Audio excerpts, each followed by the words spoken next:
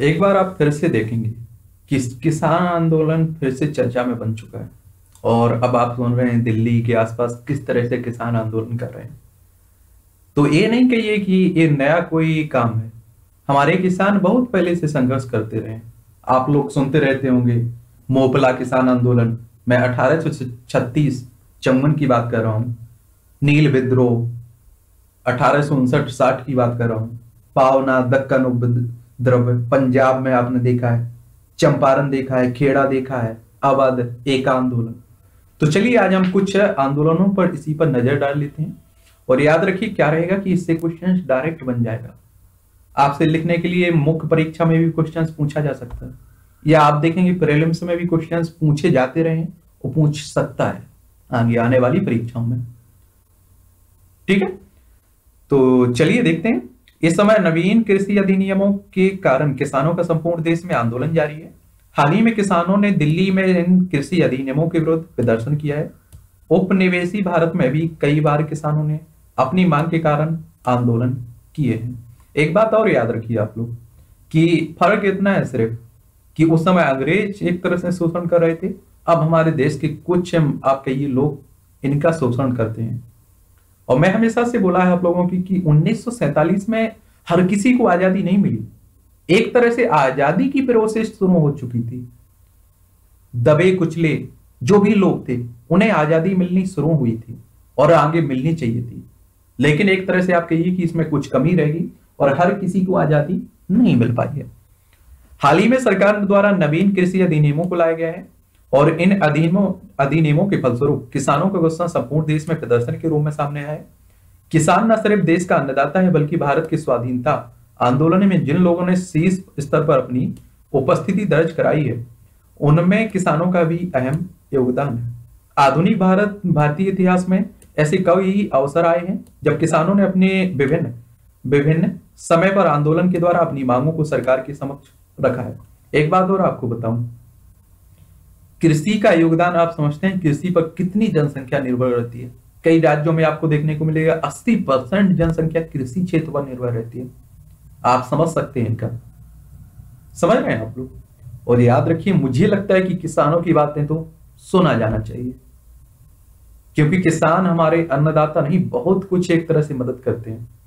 Lockdown के time आपने देखा है, अर्थव्यवस्था किस तरह से गिरी हुई है? अगर उसमें कुछ राहत दी है तो हमारे कृषि क्षेत्र ने दी है, किसानों ने दी है। आप किसानों का एक समय आपकी थाली में जो रोटी है, उसके बारे में एक समय के लिए सोचिए आप लोग, कि किसान अगर फ़सल ना उगाए तो वो रोटी कहाँ से आएगी? क्या खाएँगे आप लोग? और लॉकडाउन के टाइम आपने देखा है, आवाजाही, परिवहन, सब कुछ ठपता। तो उस देश के बारे में आप लोग अंदाज़ा लगाइए, जहाँ खेती ना होती हो, जहाँ किसान काम नहीं करते हो तो उनकी क्या हालत रही होगी? समझ रहे हैं आप लोग? अब बात करते हैं आधुनिक भारत में किसान आंदोलन। तो सबसे पहले आप देखेंगे नील आंदोलन। इस आंदोलन का प्रारंभ बंगाल के गोविंदपुर गाँव में अठारह सौ उनसठ को आरंभ हुआ था। बंगाल के किसान अपने खेतों में चावल की खेती करना चाहते थे, परंतु उन्हें यूरोपीय नील की खेती के लिए विवश कर दिया गया। ये नील आंदोलन इसलिए हुआ था, अठारह सौ उनसठ में डेट भी याद रखिए, क्योंकि प्रीलिम्स में बन जाएगा। वन डे एग्ज़ाम में तो डायरेक्ट वन लाइनर में क्वेश्चन पूछ लेता है। यहाँ के किसान चाहते थे कि मैं अपनी जो भी खेत है उसमें चावल की खेती उगाऊं। लेकिन यूरोपीय जो अंग्रेज़ थे वो क्या कह रहे थे कि नील की खेती उगाइए आप लोग। यहाँ बोइए। ठीक है? तो इसी के कारण यह आंदोलन हुआ था। इस स्थिति में स्थानीय नेता दिगंबर विश्वास तथा विष्णु विश्वास के नेतृत्व में किसानों ने विद्रोह कर दिया और इस आंदोलन में हिंदुओं तथा मुसलमान सभी किसान सम्मिलित थे। अंततः सरकार को नील नील के कारखाने बंद करने पड़े और सरकार ने 1860 में नील आयोग का गठन कर जाँच का आदेश आदेश दिया और आयोग का निर्णय किसानों के पक्ष में रहा। इस आंदोलन का वर्णन दीन बंधु मित्र ने अपने नाटक नील दर्पण में किया है। तो ये कहानी है आपकी नील आंदोलन की, नील किसान आंदोलन की। और याद रखिए, इससे जुड़े हुए नेताओं को भी आपको याद रखना है, क्योंकि इनसे भी डायरेक्ट क्वेश्चंस पूछ लेगा फिर दूसरा है आपका पावना विद्रोह पवाना विद्रोह यह आंदोलन अठारह सौ में जमींदारों द्वारा किए, किसानों के शोषण के विरुद्ध आरंभ हुआ था। और इसमें किसानों ने पावना पावना ज़िले की यूसुफ शाही परगने में किसान संघ का गठन किया। यह आंदोलन ईशान चंद्र राय, केशव चंद्र राय इस आंदोलन के प्रमुख नेता थे।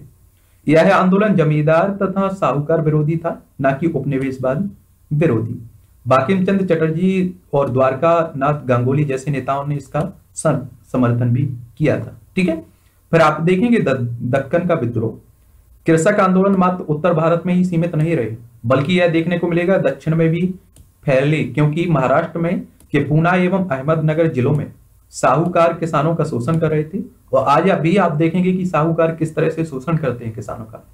इसके साथ ही सरकार ने रेयतबाड़ी व्यवस्था के अंतर्गत करों को बढ़ा दिया था।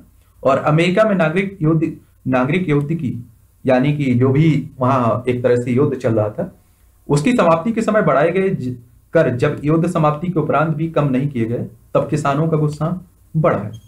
इसी समय आप देखेंगे दिसंबर सन अठारह सौ चौहत्तर में एक सूदखोर कालू राम ने किसान बाबा साहेब देशमुख के खिलाफ अदालत से घर की नीलामी की डिक्री प्राप्त कर ली थी।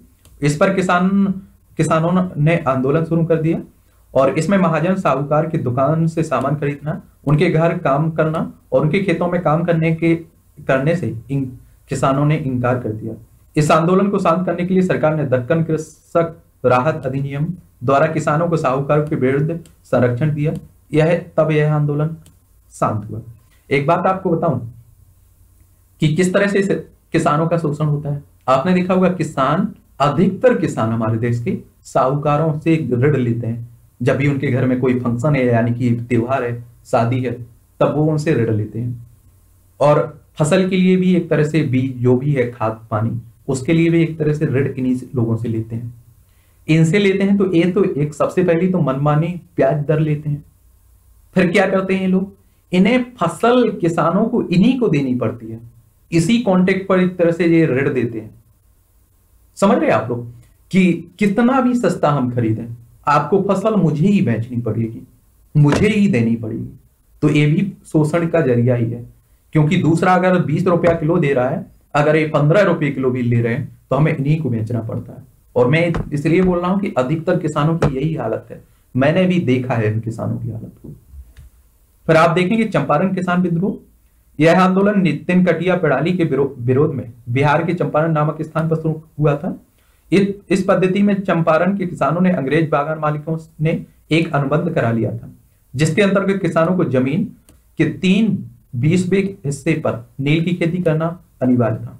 और अभी जो एक तरह से कॉन्टेक्ट फ़ार्मिंग की बात की जाए यही प्रॉब्लम देखने को मिल सकती है हमें, कि आगे इस तरह से भी जो भी कॉन्ट्रेक्टर होंगे, वो इस तरह से भी इनको शोषण कर सकते हैं।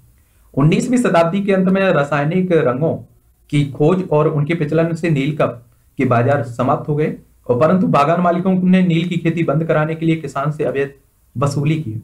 इस आंदोलन में स्थानीय नेता ने गांधी जी को आमंत्रित किया और गांधी जी के आने के बाद इस आंदोलन राष्ट्रीय स्तर पर चर्चा का विषय बन गया। 1917 की बात। है कहा जाता है ऐसा कि गांधी जी को किसानों की ज़रूरत थी। ऐसा आंदोलन करना चाहते थे कि पूरा देश उनके बारे में जान जाए और चंपारण को गांधी की ज़रूरत थी। और गांधी को चंपारण की ज़रूरत थी। सरकार तथा बागान मालिकों को किसानों का पक्ष सुनना पड़ा। सरकार ने इस आंदोलन को शांत करने के लिए एक आयोग का गठन भी किया, जिसमें गांधी जी भी सदस्य बनाया गया और बागान मालिक अवैध वसूली का 25 प्रतिशत वापस करने में पर विवश हो गए। फिर आप सुनते हैं मोपला किसान विद्रोह। यह किसान विद्रोह जमींदारों के विरुद्ध था चूँकि मोपला किसान मुस्लिम समुदाय से थे तथा जमींदार हिंदू समुदाय से संबंधित थे। तथा उपनिवेशी सरकार द्वारा इस आंदोलन को सांप्रदायिक रंग देने का प्रयास किया गया। प्रारंभ में विद्रोह अंग्रेज़ हुकूमत के खिलाफ था। महात्मा गांधी, शौकत अली, मौलाना अबुल कलाम आज़ाद जैसे नेताओं का सहयोग इस आंदोलन को प्राप्त हुआ। इस आंदोलन के मुख्य नेता के रूप में अली मुसलियार थे। यह आंदोलन असहयोग तथा खिलाफत आंदोलन की समकालीन था। एक बात और यहाँ मैं कहना चाहूँगा आप लोगों से। देखिए आप कहते हैं कि चलिए श्री राम का नारा लगाना है। लगा दीजिए। वंदे मातरम कहना, लगा दीजिए। भारत माता की जय कहना, लगा दीजिए। आपको अपने धर्म को मानना है, लगा लीजिए। जो भी करना है, कर लीजिए। क्योंकि ये नेता चाहते हैं कि आप हिंदू, मुस्लिम, मंदिर, मस्जिद, ये मुद्दे बने रहे और देश को पीछे छोड़ते जाए। आप लोगों का शोषण होता रहे। इन्हें अपनी रोटियाँ सेकने से मतलब है। मैं कई ऐसे मुस्लिम नेताओं को भी जानता हूँ, जो अपना घर भर लिए, लेकिन अपने समाज को नहीं देख पाए। मैं ऐसे कई जनजातीय नेताओं को जानता है, ऐसी मतलब आप सोचिए जनजाति नेताओं को जानता हूँ, कई समूहों के नेताओं को जानता है, जिन्होंने अपने घर तो भर लिए, जिनके बच्चे वीआईपी स्कूल में पढ़ते हैं, और दूसरे के बच्चों को बगला फुसलाकर दंगे फसाद करवाते हैं। तो इसलिए मैं कह रहा हूँ कि मिलजुल के रहिए। किसानों में ना तो आपको देखने को मिलेगा, हर जाति का लोग मिलेगा। फिर चाहे आपका मुस्लिम हो, किसी भी जाति का, हिंदू, धर्म से, सिख, बौद्ध, जिससे भी हो। यही हमारी एक तरह से पहचान है, देश में विविधता भरा। कई जातियों में बटे हैं, कई धर्मों में बटे हुए हैं, कई समूहों में बटे हुए हैं, फिर भी हम एक रह रहे हैं। और हम लोग खुश रहते, शांत रहते मिल जुल कर रह सकते हैं। अगर ये नेता बगलाए ना, और हम ना इनकी बातों में फंसे तो। तो इसलिए सब लोग मिलजुल के रहिए। लॉकडाउन में आप लोगों ने देख भी लिया है। कोई नेता आपकी एक मदद के लिए नहीं आया। मैं कई ऐसे उदाहरण बता सकता हूँ जिनमें मुस्लिमों ने हिंदू की मदद की है, हिंदुओं ने मुस्लिम की मदद की है, निचली जाति ने ऊपर लोगों की मदद की है, ऊपरी लोगों ने निचली जाति की मदद की हुई तो आप मत इन इन नेताओं के भड़कावे में आइए। आपके लिए सबसे बड़ा मुझे लगता है कि अपनी इंसानियत धर्म है, अपना कर्म धर्म है, यही मानना चाहिए। इससे ज़्यादा मैं भी कुछ नहीं बोल सकता। फिर आता है आपका खेड़ा सत्याग्रह यह आंदोलन 1918 में खे, खेड़ा गुजरात में आरंभ हुआ था जब सरकार फ़सल बर्बाद होने की उपरांत भी कर वसूल रही थी। इस आंदोलन का नेतृत्व गांधी जी और सरदार वल्लभ भाई पटेल ने किया था। इस आंदोलन को शांत करने के लिए गांधी जी ने कहा कि लगान देने में अक्षम किसानों से वसूली नहीं की जाएगी जबकि लगान देने में सक्षम किसान स्वेच्छा से पूरा लगान देंगे। फिर आप देखेंगे उत्तर प्रदेश में किसान आंदोलन। तो होम रूल लीग की कार्यकर्ताओं के प्रयास तथा मदन मोहन मालवीय की दिशा निर्देश के परिणाम स्वरूप फरवरी सन 1918 में उत्तर प्रदेश में किसान सभा का गठन किया गया और सन 1919 में अंतिम दिनों में किसानों का संगठित विद्रोह खुलकर सामने आया। इस संगठन को जवाहरलाल नेहरू जी ने भी नैतिक समर्थन दिया। उत्तर प्रदेश के हरदोई बहराइच, सीतापुर ज़िले में लगान में वृद्धि एवं उपज के रूप में लगान वसूली को लेकर अवध के किसानों ने एका आंदोलन नामक आंदोलन चलाया। एक बात और आपको बताऊँ। कभी भी आप चले जाइए, इनका समर्थन हर जो ईमानदार नेता होगा, उन्होंने किया होगा। जिन्हें अपनी वोट बैंक की राजनीतिक रोटियाँ सेकनी होती हैं, वो अपना काम करते रहते हैं। ठीक है? बारदौली सत्याग्रह की बात करें तो यह आंदोलन भी लगान में बढ़ोतरी के कारण हुआ था। यह सूरत के बारदौली में 1928 की बात है। इसमें सरदार वल्लभ भाई पटेल एक कुशल नेता के रूप में और इसमें उन्होंने लगान का बहिष्कार किया और लगान देने वाले किसानों का सामूहिक बहिष्कार का भी प्रयोग किया इसमें। फिर आप देखेंगे तिभागा आंदोलन। किसान आंदोलन में सन 1940 में बंगाल का तिभागा आंदोलन सर्वाधिक सशक्त आंदोलन था, जिसमें किसानों ने फ़्लाइट कमीशन की सिफारिश के अनुरूप लगान की दर घटाकर एक तिहाई करने के लिए संघर्ष शुरू किया था। बंगाल का तिभागा आंदोलन फ़सल का दो तिहाई हिस्सा उत्पीड़ित, बटाईदार किसानों को दिलाने के लिए किया गया था। इस आंदोलन का नेता कम कौन थे? कम राम सिंह और भवन सिंह।